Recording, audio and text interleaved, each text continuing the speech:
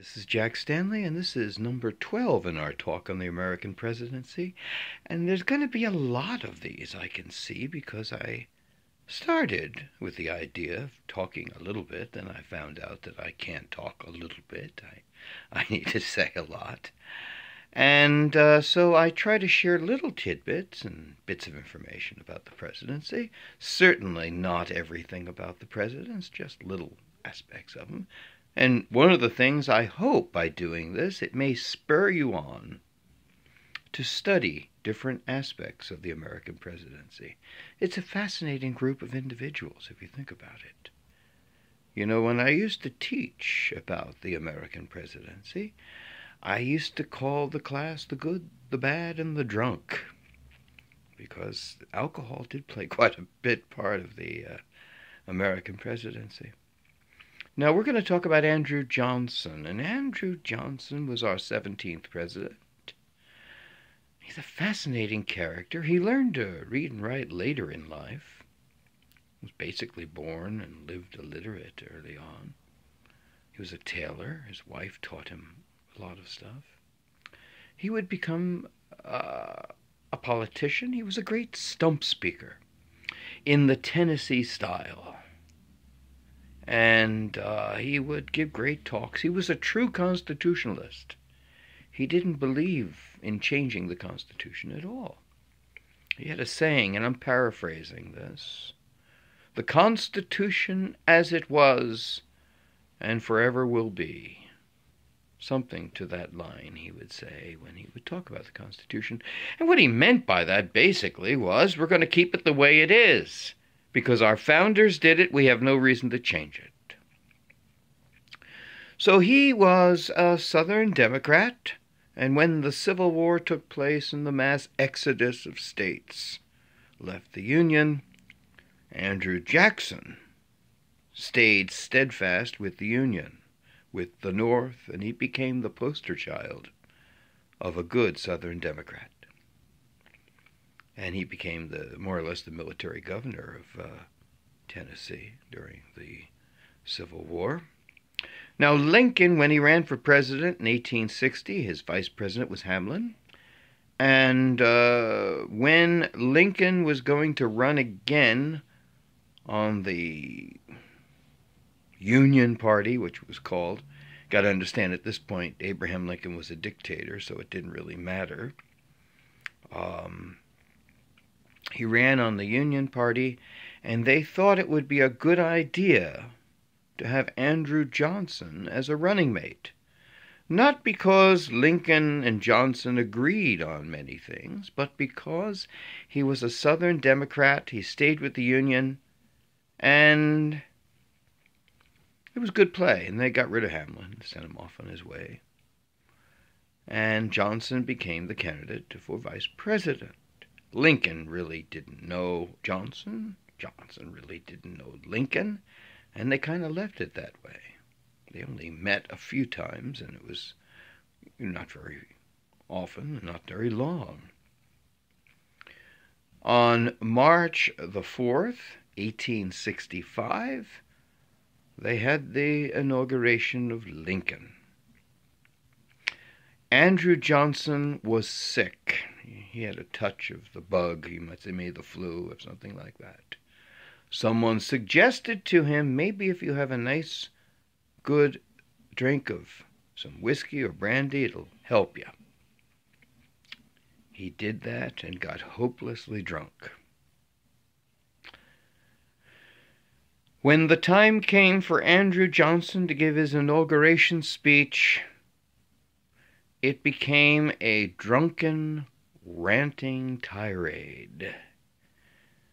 People remarked on how Abraham Lincoln was trying to find a way to hide his six foot four frame underneath the chair he was sitting on. It was embarrassing. In fact, the person that was most embarrassed was Johnson because he was kind of out of control. Nonetheless, he became vice president under a very rocky start. Now, of course, everyone knows Lincoln was assassinated. He was shot in Ford's Theater April 14, 1865. And Andrew Johnson actually was one of the people listed to be assassinated as well, but his assassin chickened out. Secretary of State Seward was viciously attacked and nearly killed. The only one who was successful was John Wilkes Booth in killing Lincoln. I will add one last thing that, in many respects, historically, and people may find this rather cold, but one of Lincoln's best friends historically is John Wilkes Booth. He creates the Lincoln myth. The, the entire thing we know about Lincoln, his assassination. If John Wilkes Booth had not shot Lincoln, there would be a totally different understanding of Lincoln. But nonetheless, something interesting to think of. Andrew Johnson is contacted. He goes to uh, where Lincoln is laying in bed unconscious. He's in shock. Goes back to his hotel, and there he takes the oath of office after Lincoln's death. He is totally unprepared. Lincoln told him nothing. Lincoln really didn't care to even talk to him. He didn't like him. So when Lincoln was dead, Andrew Johnson becomes president at the end of a war, at the end of a terrible campaign where the entire country is a mess. Everything is screwed up. Everything was set up with the idea of Lincoln. Got to remember, once again, the United States is formed up here in Lincoln's head. I mean, the total rebirth of America. Only problem was he didn't tell Johnson anything. So Johnson, who does not have the same kind of skills Lincoln does, Johnson does not have the same kind of intellect. He doesn't have the same imagination, imagination, the same uh, the same creative abilities. Therefore, he's at a great disadvantage. And he's surrounded by what are called the radical Republicans, who are pushing to change everything with the Constitution. Now, as I told you before, with Andrew Johnson, he is a true constitutionalist. He doesn't want to change the Constitution. This is why he stayed with the North and the the South secedes, and the war ends, and Andrew Johnson tries to implement a gentle return to the Union for the South. He is totally unprepared for the onslaught of attack that is going to come his way from the radical Republicans. They want blood. They want to hang Jefferson Davis. They want to hang Robert E. Lee.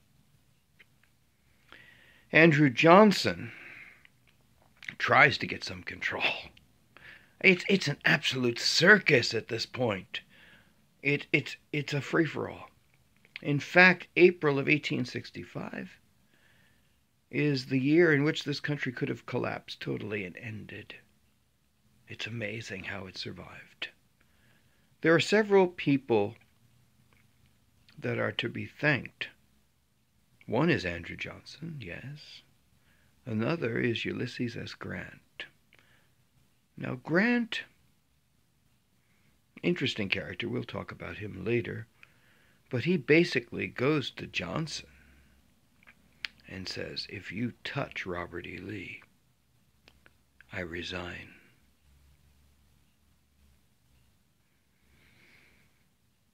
And of course, they didn't touch Robert E. Lee. They didn't dare. Because basically, Ulysses S. Grant told him, he said, You know, you need your military. You get rid of him, you do anything to him, I'm gone. So, Johnson tries to implement Lincoln's ideas. Congress has nothing of it, doesn't want anything of it. It would be interesting, once again, this is such an interesting period of time that um, had Lincoln lived, how would he have survived this wild tempest of a storm called Congress and the radical Republicans? He would have survived it, but probably would have come out very wounded. Be interesting. We'll never know. However, Johnson came in, and Johnson's a fighter. Johnson, Johnson's stubborn.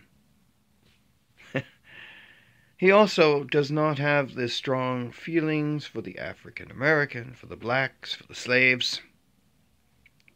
Give them their freedom, but he doesn't look upon them just as Lincoln did. Okay, let's stop the bullshit about Lincoln. Lincoln didn't think blacks were equal to whites. Of course not. Call him the great emancipator, but in reality, he was for colonization of getting all the pres- all the uh, all the slaves together, giving them freedom, and then get them rid of them and get them out of the country. We don't talk about that, but Andrew Johnson doesn't do that. But Andrew Johnson uh, is not a very strong advocate for uh, black rights. So the honeymoon with Congress goes on for a short while. They adore him. And then they start to hate him. And then they discover they can't control him. And it gets nastier and uglier. And Johnson, Johnson does not have a good sense for the public. He doesn't have a good sense for dealing with people. He's a great stump speecher in Tennessee, but that doesn't work in Washington. And he travels the country with General Grant and others at times, makes a damn fool of himself. Things get worse. He is against a lot of the things the radical Republicans do. He's very much against the Secretary of War Stanton. And their relationship gets uglier and uglier, and finally, it obviously appears that Johnson's going to get rid of Stanton. The radical Republicans adore Stanton, as they adore Grant. They're all in that league. And Congress goes above the president's head and creates what is called the Tenure of Office Act. Now, what is the Tenure of Office Act? It is basically a law that is doing its best to take away all the powers of the executive. And what that law basically says, to put it in its simplest terms, is that a member of the president's cabinet cannot be removed by the president without congressional approval. That's insane. It's totally unconstitutional and totally rips into the power of the executive. Johnson knows that. Johnson says, screw you, and fires Stanton. Stanton refuses to surrender his post locks himself into his office. Meanwhile, Congress says that you have usurped your powers. And they bring up articles of impeachment against the president. Well, it gets ugly. It gets nasty. And I, I have the books here on the impeachment trial, and it's somewhat of a charade, some, somewhat of a joke. But it gets really ugly. And his character is kind of dragged through the mud. His intellect is dragged through the mud. His idealism is dragged through the mud. This goes on. And finally, he is impeached by the Senate.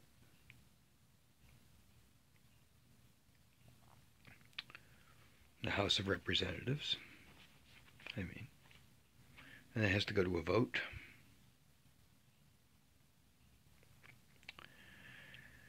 And he survives by one vote. One vote saves Andrew Johnson. This whole battle that goes on in the House of Representatives and the Senate over this whole thing over impeachment. It's ugly, it's nasty. And the person that actually eventually, well, it's a long story, I won't go into it too much, but the fact is that uh, the individual who voted uh, not to impeach, who saves Johnson, saves, votes in his way to have had nothing to do with Johnson. It's had a lot of other things going on. I should do a talk on that sometime. But nonetheless, Johnson survives. And the office of president survives. Now think about this. Now I've told you before with Lincoln, he totally stretched the Constitution. He changed the office of president. He made it extremely powerful. And what Congress was trying to do was take away those powers from Johnson. They almost did it. Had they done it, the office of president would not would be more or less a joke. It would be ceremonial. And Congress would call the shots. Johnson survives, Stanton leaves.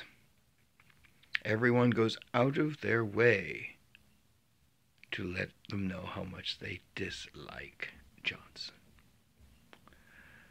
And that's a very interesting period in our history. I'm going to add more to the Johnson story shortly. Um, but I wanted to at least set this up in part 12 here in our talk about the American presidency. An individual who wouldn't give up, who was stubborn, and due to the fact that he was stubborn enough, the office of president was preserved and saved. We do owe that to Andrew Johnson.